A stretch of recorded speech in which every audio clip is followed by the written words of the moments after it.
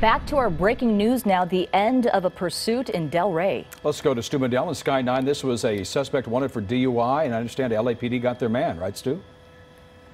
There he is right there in the center of the screen being walked between two apartment complexes being taken into custody. He just was taken into custody just seconds ago. The vehicle basically coming to a dead end out here. DUI is what they wanted. They were in pursuit, but they did turn it into a tracking type of situation. Followed the car to this location. One officer was there in the beginning. They set up a perimeter, and in the end, they got their guy. Live in Sky 9 over the Del Rey area. I'm Stu Mundel. Back to you two in the studio. Good work by LAPD. Stu, thank you.